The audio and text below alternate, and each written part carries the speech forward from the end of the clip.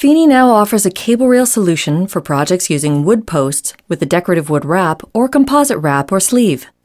The cable rail fittings will attach to the inside faces of the termination posts.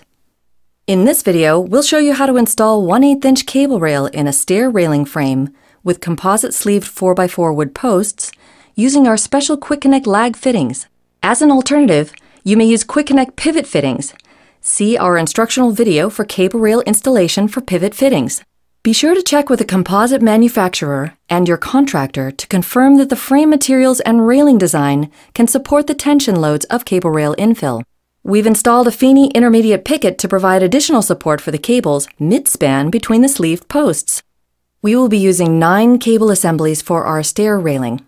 Each finished cable assembly will have a non-adjustable Quick Connect lag fitting on one end and a Quick Connect lag swivel turnbuckle on the other end to adjust tension. Here is a list of the parts you will need. A spool of 1 8 inch Feeney cable rail cable, 9 Quick Connect lag fittings, 9 Quick Connect lag swivel turnbuckles.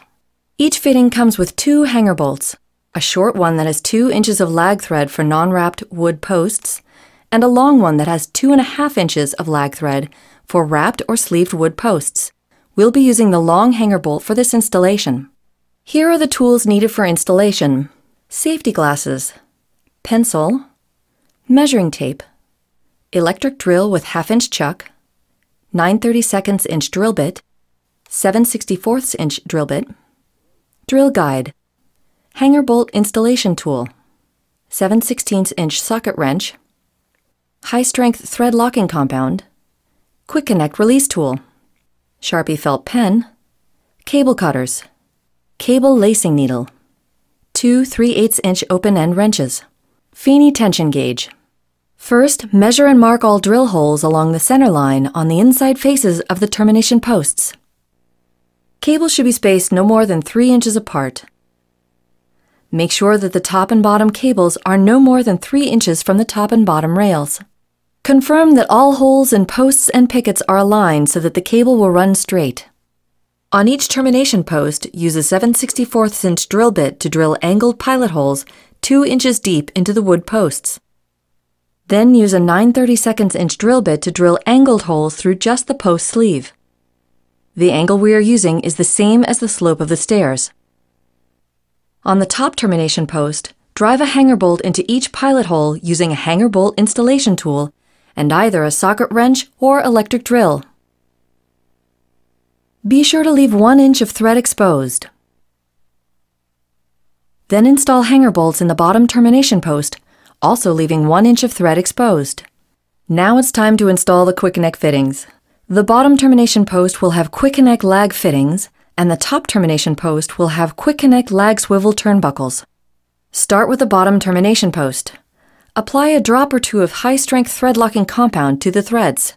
Spin the Quick Connect lag fitting onto the hanger bolt until it bottoms out.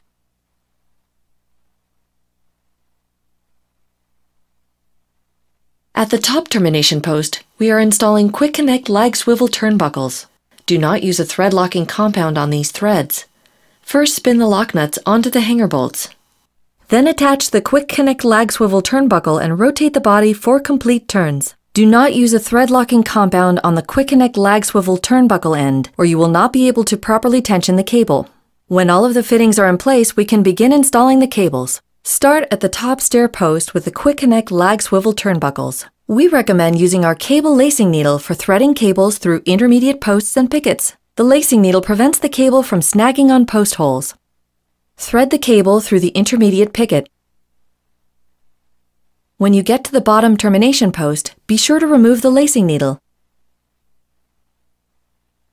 Insert the cable all the way into the Quick Connect lag fitting until it stops. The jaws will automatically lock on the cable.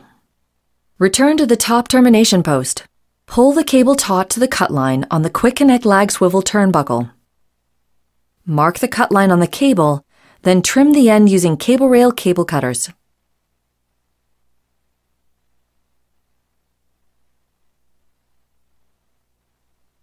Loosen the turnbuckle two full turns.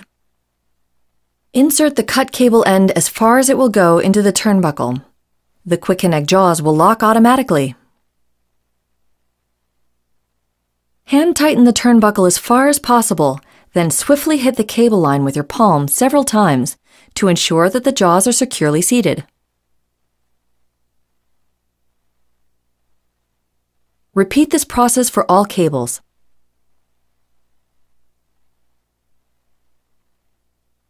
Once all the cables are installed, we are ready to begin final tensioning.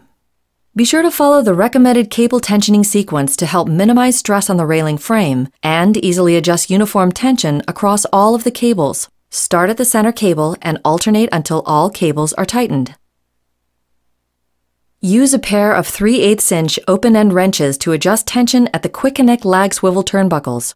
Use one wrench to hold the body of the turnbuckle steady while using the other wrench to tighten the swivel end. This will ensure the cable does not twist. If your cables are still loose after tensioning, don't panic. You can disengage the Quick Connect jaws using our Quick Connect release tool. Slide off the rubber protector seal, then slide the release tool into the fitting. Pull the cable free and trim as needed. You may use a Feeney tension gauge to determine when you have tightened the cables enough. Once the cable is tensioned, tighten the lock nuts against the Quick Connect lag swivel turnbuckle to prevent it from loosening. Our railing is complete. For questions about your installation, visit our website or call us toll free at 800 888 2418. Send in your finished project photos for the chance to win big cash prizes.